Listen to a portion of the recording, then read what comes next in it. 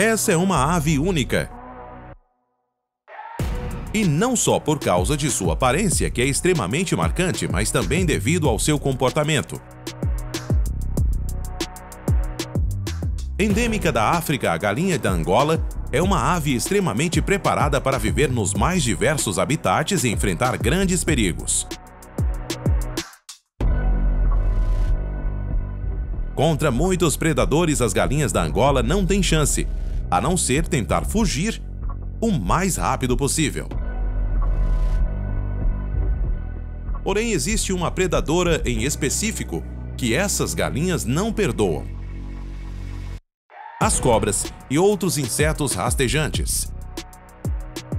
Galinhas da Angola são criadas em muitos lugares com o objetivo de comer espécies perigosas como escorpiões e cobras.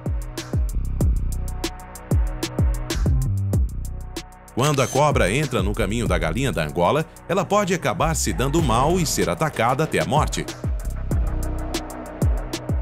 No entanto, nesses encontros, geralmente as galinhas da Angola costumam fazer um cerco na cobra, com o objetivo bem claro. Essas galinhas podem ser atacadas e comidas por cobras. Então, o objetivo da galinha da Angola é espantar a cobra o mais rápido possível dali.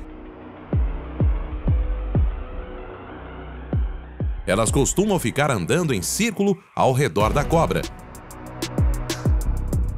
até a predadora se sentir ameaçada e ir embora.